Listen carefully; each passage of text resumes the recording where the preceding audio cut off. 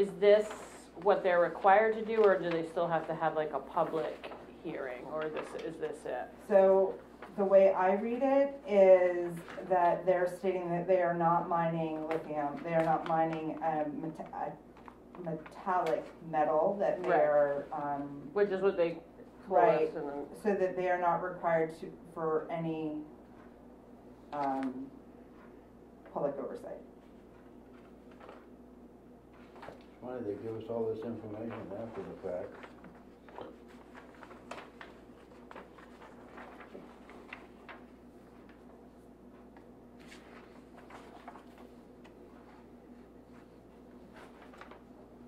That's my interpretation of the letter, but it's certainly written in legalese. well, I expect nothing less.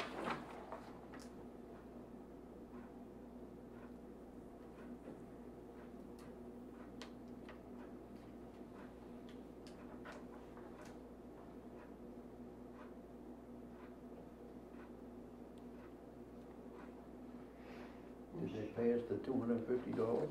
No, Does that go to us, or does that go to the state? I think it goes to the state, they don't pay us anything. Yeah. That was the whole purpose of having the planning board go through a review process so that they would have to pay us something and at least let us know what they're doing. And if anybody complains, we could have recourse to send the CEO or somebody up there to say, are you following the rules? So that is all to come, and then we'll bring it to the voters and see if they wanna approve something else.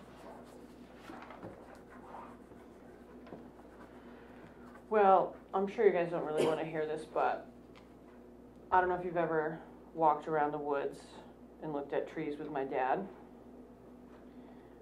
But I look at a tree and I see a tree. That's it, right? Just trees. He obviously is a logger and looks at the trees and can tell you this could be this and that and boards and two by I don't know. But I just smile and nod. I, I know a white birch tree and a pine tree. The rest are foreign to me. Talking to Gary, the owner, about rocks. Again, I don't really know a lot about rocks.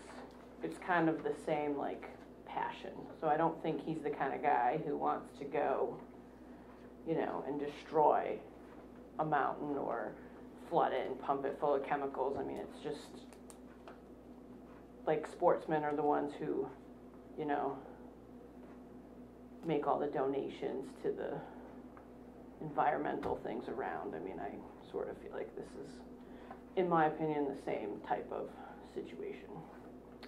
That's just my opinion about that.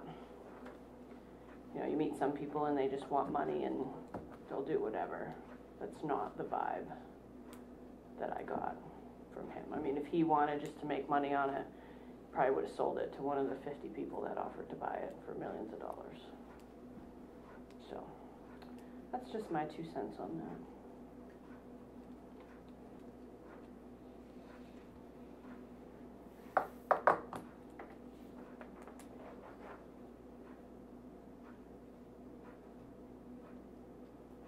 How we doing on, uh, trash? Is that going out to bid yet or?